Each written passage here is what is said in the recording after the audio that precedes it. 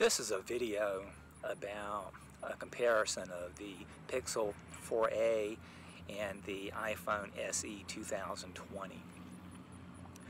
Um, first of all, um, we'll start out, I guess, with the um, the iPhone first. Um, iPhone um, is pretty good at video. It has, um, I think, IP 67 water resistance. Uh, it has a glass back. Um, it has a better build than the Pixel. Um, and uh, the video quality from the front-facing camera is going to be better than the uh, Pixel. Um, and it's got a faster processor than the Pixel. So those are the main advantages of the um, iPhone SE. And then um, on the Pixel, it has Android on it, and I have Android 10, um, and that's real good. Um, it has a slower processor. It doesn't have the build quality. It has a plastic back. Um, it um, has a better camera, probably, than the um, than the iPhone does, and the uh, front-facing camera is 8 megapixel, whereas the iPhone is 7 megapixel. It neither one of them on the front-facing camera have 4K, um, and then um, the um, rear-facing camera will do only um, 30 frames per second at 4K, and I think the iPhone may do 60. Um, and um, you can have uh, wireless charging on the iPhone, and you cannot on the Pixel. Um, and, and also the Pixel is not water resistant at all. So if it gets wet, then it's, it's gone. Also, uh, with Pixel, usually, um, I think on this one they're updating it for three years, whereas the iPhone, uh, usually the software is good for around five years. And then you also have a stronger processor too, so that'll help it last longer too. Um, the battery is probably a little bit larger on the uh, on the Pixel.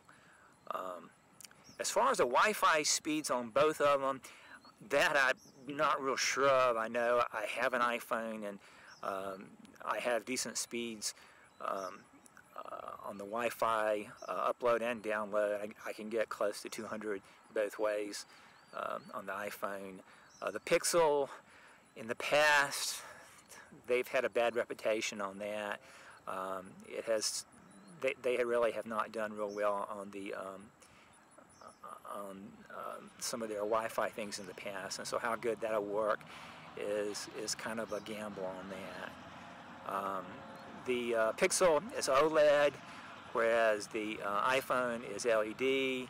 Uh, some people can't don't like OLED, uh, so it may bother some people, and on those people they'd be better off with the iPhone. Um, and then also, I think the iPhone will have Apple Pay, and then uh, uh, the Pixel will have Google Pay.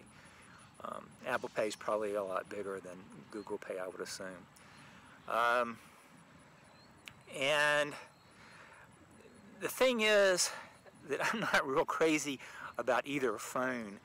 Um, you know, I don't know if the Pixel 5, when it comes out, is going to be any better um, than these or not.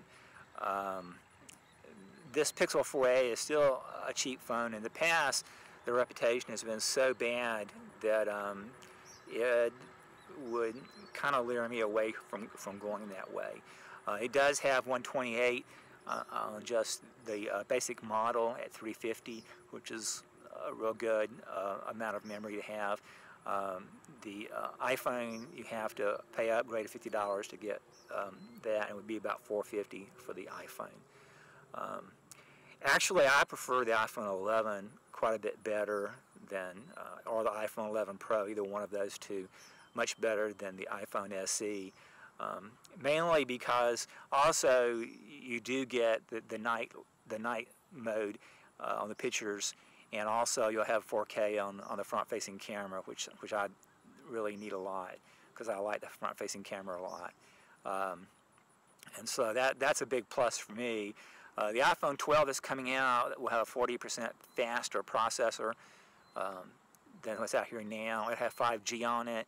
Uh, I'm not real crazy about 5G. There may be some disadvantages too as far as uh, radiation and some other things. I'm not real sure about. There may be other risks, but um, it, it could have an L, LiDAR camera on it, which will give some three-dimensional things possibly. Um, and so there are, and also even on the basic uh, iPhone um, 12, uh, you'll get two cameras, and then on the more pro version, you'll get three cameras. And so um, those are some considerations also for the iPhone 12. Um, so either the iPhone um, 11 or, or 11 Pro or, or, or the 12 uh, seem like a better option to me. Uh, the iPhone SE, the biggest problem I have with it is I don't like the front-facing camera on it. Um, it, it, it, doesn't even seem to be as good as the front-facing camera on the Google Pixel. Um, and um, but the Google Pixel does have an 8 megapixel camera on it, and it has a 7 on the on the um, iPhone. Um, but anyway, that's my main objection to the iPhone. Um, and so my real suggestion is wait until the iPhone 12 comes out and buy the best things available at that time. Um, anyway, if you haven't subscribed yet, please subscribe, and and and thanks a lot.